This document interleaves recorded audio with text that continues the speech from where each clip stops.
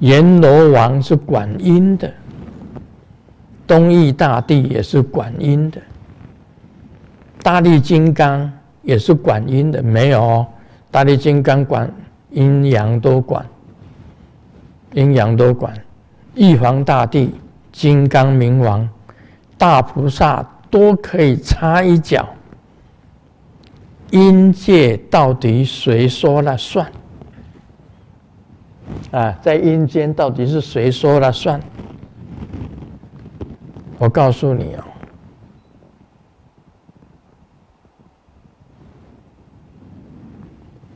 阴界到底谁说了算？我认为有两个人说了算。我跟你讲，第一个。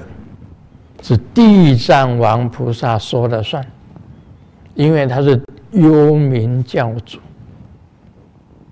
任何人插一脚都没有用，因为阴间是幽冥教主，地藏王菩萨说了算。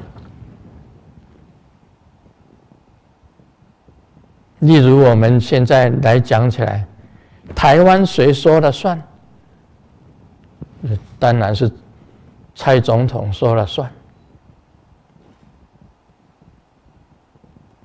但是在美国不太一样哦，川普说了也不算，在美国到底说谁说了算？像我们华盛顿华盛顿州啊，州长说了算，对不对？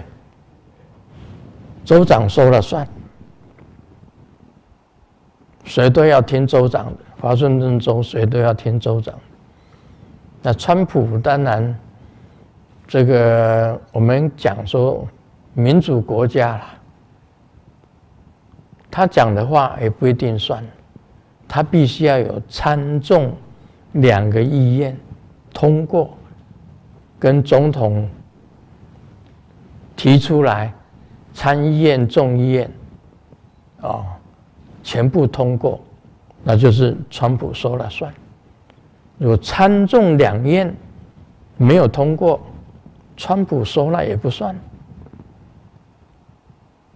这第你的讲的阴间呢，当然是这个地藏王菩萨说了算，那是他是最大。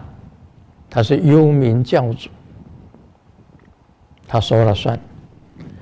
但是我还讲了一句话，很简单的，你说了算。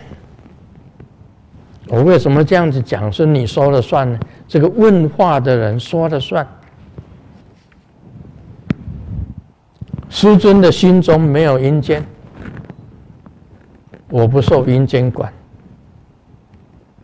你心中有阴间，你还收阴间管？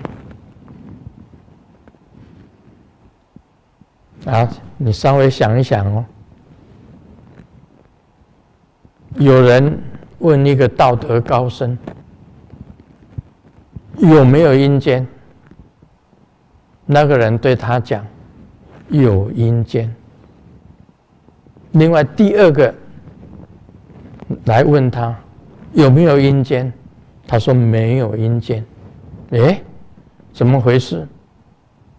因为第一个人本身呐，修行不够力，所以将来会堕入阴间。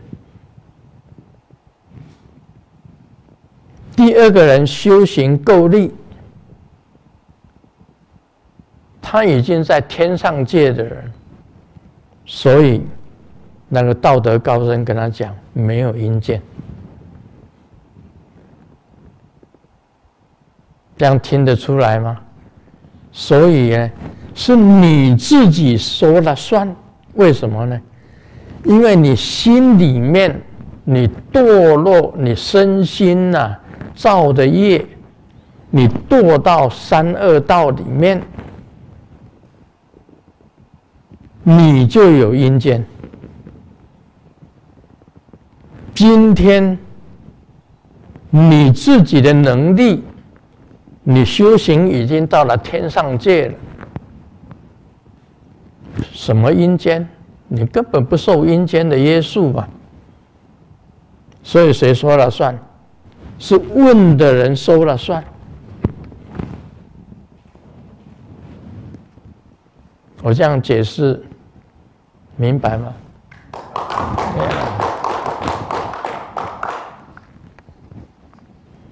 阎罗王管阴间，东夷大陆管阴间，东夷大地管阴间。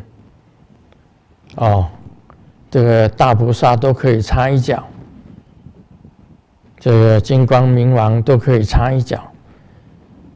我告诉你，你已经是天上界的人了，根本谁阎罗王也管不了你，东夷大地也管不了你，任何个菩萨都管不了你。